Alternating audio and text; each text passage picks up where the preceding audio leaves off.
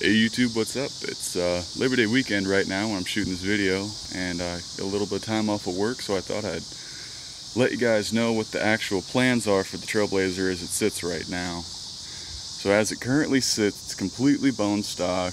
Um, I've not really done anything to it except for what I'll show you and they're really not big modifications. So first things you probably won't notice is down here these are where the factory fog lights would have been. And now on models that didn't come with them they had a uh, plastic grate that went across them. And it's real easy I just cut them out with a pocket knife. Popped them out because I've got some lights that I'm planning on mounting down there. And uh, you really can't even tell when you look at the vehicle without them in there so it really doesn't matter. Uh, coming into the vehicle I also tried to make this video before it got a little bit too messy. Come in and see. I actually replaced the uh, mirror in here with this lane changer one that I actually pulled out of my Dakota that my grandpa had. So it's, this mirror is actually probably older than this car. But what I love about it, and I can't really find it anywhere else, is that this top mirror there allows me to see out of all of the back windows at the same time. So effectively, I don't have a blind spot anymore in my mirrors. And I really, I really value that, especially considering that the reason that my uh, 04 Trailblazer that you guys never got to see got in an accident so quickly was somebody coming out of my blind spot. So I'm a little bit paranoid about that, but uh, yeah, no, I've really been enjoying that. I've still got the factory mirror. The only thing that it doesn't do with this is you'll see right there, there's a little cable. What actually happened was that there was a, uh, the factory passenger airbag symbol was on the underside of the mirror. And so, no, I can't tell when the passenger airbag is on, but at the same time, not super concerned about it. Now, the back is a little bit of a mess right now. Um, but in here, you'll see all of my future plans for this vehicle. Uh, most of these electrical components should all be done sometime in the next week. I've actually got an appointment at the shop uh, that I'm going to have to do it, mostly because I unfortunately don't have the time during my work week to do any of these. So first things first, that stock radio is getting replaced by this dual XNAV touchscreen unit with Bluetooth. Um, I've been using a uh, FM transmitter that's been working really well, but to actually have Bluetooth in my vehicle um, is something that I'd really appreciate and enjoy because mostly I don't listen to the radio that much. I tend to just use Spotify. It's a generational thing, I guess, but um, I just prefer to listen to the music that I want to listen to, not just whatever's playing on the radio. Um, so this already came out of the 2004 Trailblazer that got wrecked. And so it has the uh, mounting brackets and everything else. So it should pop straight in, like just in and out, real quick. Shouldn't have any other issues with it. Um, this is just the uh, the faceplate. It actually came with a little remote for it. That'll probably never get used, but I kept all the paperwork that I could. Um, right here, you will actually see the uh, lights that I plan on mounting to the underside where the fog lights would be. These are night lights. Uh, I want to say the 4x4 spots. I ended up going with spotlights over floodlights because I'm planning on using these as a uh, fog light for the most part and driving lights. And so I wanted it to be able to reach out as far as I could and reach out past where my factory brights would go. And so the plan as it sits right now, there's a piece of metal that crosses right down there. These will pop in and they'll be sitting right in there. Uh, with that, these lights I picked up for like 20 bucks on Amazon. Uh, they've got really good reviews for that price and I don't plan on seeing a ton of use out of them and I don't need them to light up an entire cornfield or anything like that. So hopefully they'll work for my purposes. Uh, they do not come with a wiring harness, but with that, I picked up their wiring harness with, I spent an extra $2 just to get something kind of fun. The toggle switch, it's got a Sasquatch on it, Sasquatch lights. It's just kind of a running joke with me, my friends, my family. I'm uh, I'm the better part of six foot five, almost six foot six, and as it stands right now, about 280 pounds with a big bushy Sasquatch beard. And so it's uh, kind of a running joke that people call me Sasquatch or anything like that. And so that's going to get mounted into the factory mounting plate. So this is where on a factory vehicle that had fog lights in it, where the fog light switch would be. They left the plate in there though so you can um, put in switches right there. So the plan is to have that switch up on this top portion and if I ever get other lights in the future like a light bar or something like that I will put just a simple round toggle down there so I'll be able to fit the two switches at the same place and if I get really nice lights like uh, roof rack lights or something like that I'll probably rewire it so that whatever lights that are stronger and I like more will be the Sasquatch lights, but that's really just kind of a cosmetic thing. Uh, moving on, the other thing that I was hoping to do is that since this monitor on the radio is compatible with a backup camera, I picked one up on Amazon. It's supposed to mount to the uh, license plate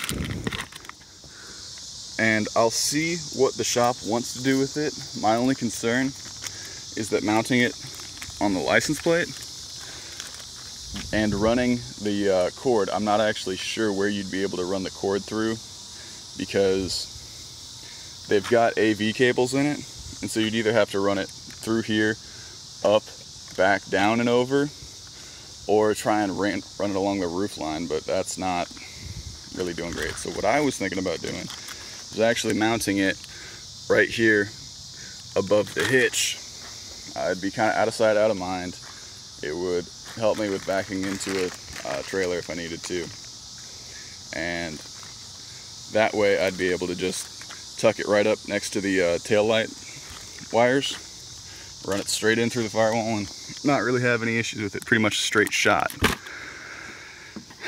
Let's see, the only other thing that I've got sitting here right now, if you guys noticed early on, is this Rough Country box. I uh, picked up their Rough Country 2-inch leveling kit. I ended up going with the Rough Country kit uh, over the, Arc, the Mark MCs or the Super Lifts or anything like that.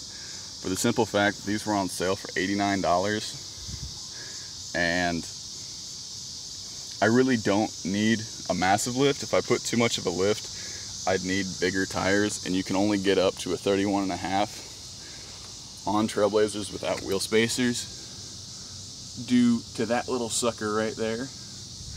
And so my plan is to go wider, not necessarily taller for this next set of tires. Um, these are kind of dry rotted and need replaced before the winter just so that I have faith in them. They get kind of squirrely on wet pavement and the dry rot really doesn't uh, instill a lot of faith in me in them. They are Toyo Open Country ATs, which I'm sure are phenomenal tires when they're new, but these look like they've sat on the vehicle for a couple more years and they probably should have. And so I will be replacing them with uh, Hankook Dynapro ATs. Um, and instead of going from the factory 245 65 17s, I will be upping to a 255 65 17, which only gets me about an inch more height, but it'll give me significantly more width and more stability. And with the uh, changing in the ride handling uh, properties of the vehicle, I want that extra width and that extra grip because realistically this vehicle is going to see mostly on-road performance but I want to still be able to not get stuck whenever I go park at uh, hiking trails or different things like that that have kind of washed out dirt roads and things like that. Like I want this Trailblazer to actually still be able to get me to a trail and not having any issues with it. And so I think those Hankooks will be a good value for that, um, especially at those sizes. And because they have some of the best winter ratings for all-terrain tires. I actually looked at some General Grabber AT2s, but their snow and ice ratings weren't that great. And while I don't get a ton of snow around here, what we do tend to get here in Southern Illinois is big ice storms where you get almost a quarter inch of ice covering everything and it's hard to salt through, you can't plow them. And so things get really slick and things can shut down really quick. And so to have such a high ice rating on them, because they're very siped all-terrain tire, I'm uh, looking forward to that. What I don't have with me right now in this kit, which by the way, if you just want to see it,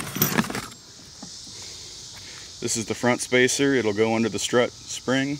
Uh, in the front, the back is just a uh, three quarter inch synthetic spacer that may or may not ever keep its loft. I'm quite sure it'll probably just compress over the years, especially if I tow anything with it too heavy. but with these, I have coming in the mail some uh, Bilstein I think is how you pronounce them, uh, gas charge performance shocks. I got the uh, 5100 series on them because they're the ones that are designed to be able to accommodate a lift in the front and or up to two and a half inches in the front and one inch in the rear of lift off of stock. And while you can probably get away with just a two inch on normal Bilsteins, because I was looking for a performance shock to kind of tighten everything up and just really give me the best on-road handling that I could with the travel for off-road purposes, which will be fairly limited in this vehicle, especially because I have that for off-road fun now. I just wanted the best that I could, especially if I'm adjusting anything with the suspension, I'd like to have it done right. The black truck over there for better or for worse, was kind of a Franken truck. And everything was just kind of redneck together in some way or another. And it works for what it is. But on this one, I'd like to try and do it all right, especially while I have the ability to. So yeah, I'll be running the Rough Country 2-inch leveling kit with Hankook 255, 65, 17 uh, Dynapro ATs, or ATMs, with um, the Bilstein 5100 series gas charge shocks and I'm looking to get all the suspension components and the tires done at once. So just like I'm doing all the electrical components, uh, actually this next week, next week I'm getting them done. So have an update on that at some point. I'm looking sometime probably in October before it starts getting too cold and everything starts getting too variable. I'm gonna get the lift, shocks, struts, and tires all thrown on at the same time and hopefully that'll be it for updates on this for a while other than maintenance and fun stuff but uh, yeah I'm gonna cut this off because this has been a lot longer than I thought I've talked way more than I probably should have so this is my again my 2008 Chevy Trailblazer LS um, that I'm looking to uh, kind of build out a little bit just kind of an an everyman sort of build uh, just get a little bit more cosmetics and a little bit more off-road capability and some performance handling. So um, if you like this video, like, subscribe, do what you got to do. If you want to see updates on this, make sure you uh, click the little bell and get the updates from my channel because these things come out pretty sporadically. And uh, again, just like, subscribe, do what you got to do. I'll see y'all in the next one.